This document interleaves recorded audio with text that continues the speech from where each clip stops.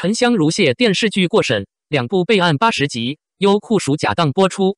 颜值高、演技好的仙侠剧一直是大家比较喜欢的类型。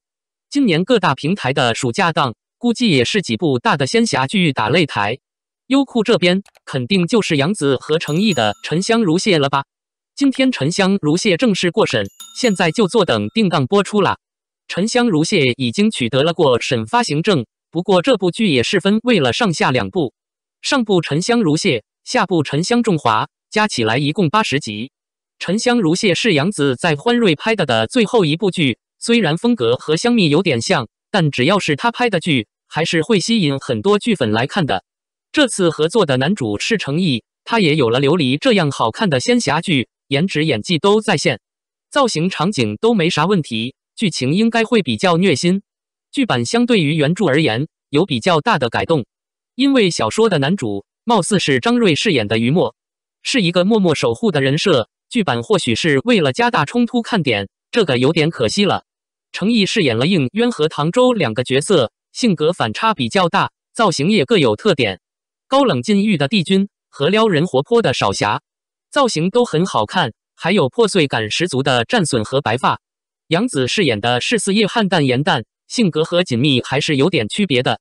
看似活泼的性格背后，也有敏感多愁善感的一面。颜淡还有一个双生姊妹芷溪，剧版由孟子义饰演。这部剧是欢瑞的，又是孟子义，看来芷溪的戏份肯定要加不少。原著里这个角色比较淡漠，戏份也少，但按照欢瑞的套路，很有可能安排两姐妹为了应渊反目成仇，希望被打脸。当初官宣主角的时候，应该很多人都比较开心吧。因为程毅和杨紫曾经合作过，两位的颜值演技也都在线。可是最近两方粉丝发生了不愉快，一定程度影响了追剧体验。两边也是各玩各的，希望官方尊重两位演员，给他们应有的待遇。播出的时候和谐共处吧。沉香如屑，程毅衣柜大赏，白发造型风华绝代，帝君装扮俊美霸气。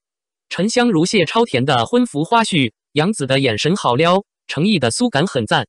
零二二搭来袭，郑业成、袁冰妍同发文引评论区炸锅磕糖。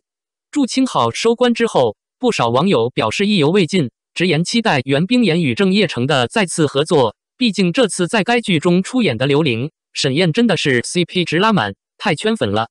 没想到仅仅不到一个月的时间，网络上便爆出了袁冰妍与郑业成二搭的消息。据悉。网络上有一部名为《穿越官家嫡女》的小说要影视化，这部作品的定位是双女主，而被爆出的人选就是袁冰妍和赵露思，男主被爆出是郑业成。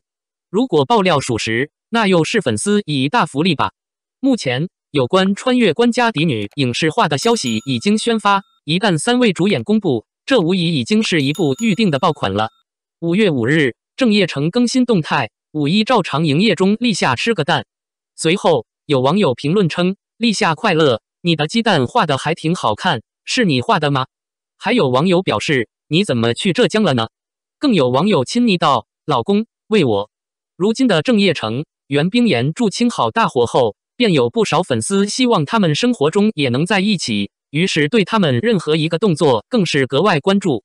五月四日，郑业成发文：“五四青年节，青春不息，奋斗不止，中国青年一起加油。”与此同时，袁冰妍发文：“百年风雨，初心弥坚，建团一百周年，祝愿祖国繁荣昌盛每一天，五四青年节快乐。”对此，网友纷纷评论：“青年兴则国家兴，青年强则国家强，五四快乐。”还有网友表示：“不负青云之志，永存赤子之心，五四青年节快乐。”不得不说，简单的一个节日祝福都能引得网友纷纷炸锅。如果两人真的出现生活中步调一致的场景，是不是真的会让粉丝深情入戏、甜蜜磕糖呢？